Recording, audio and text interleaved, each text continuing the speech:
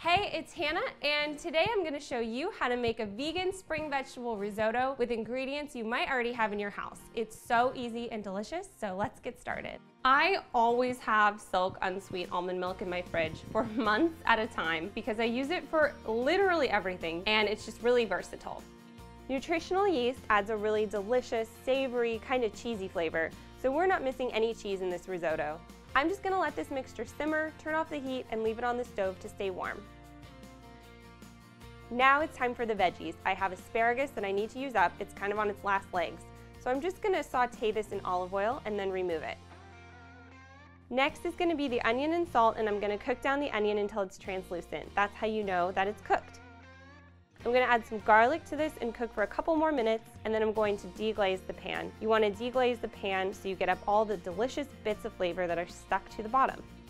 Once the apple cider vinegar is evaporated, I'm going to fold in my rice and stir it so the grains get coated with oil. If the broth is too cool by the time you do this step, reheat it for a few minutes. Mine's nice and hot, so I'm going to ladle the broth into the rice one ladle at a time. Before I ladle any more, I'm going to let the broth completely absorb into the rice and I'm going to stir it occasionally so that it can really get an even soak. I'm going to do this until the rice is tender and the broth is absorbed so I don't have a lot of excess liquid left over.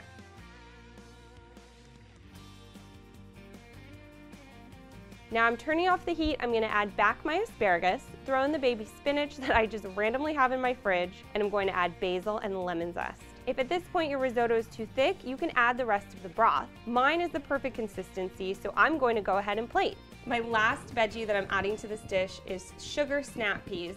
If you make it, make sure you share a photo in the comments below and let me know. Mm. I seriously can't get enough of this. It's creamy, zesty. I used up all my leftover veggies. My favorite. Oh, yes!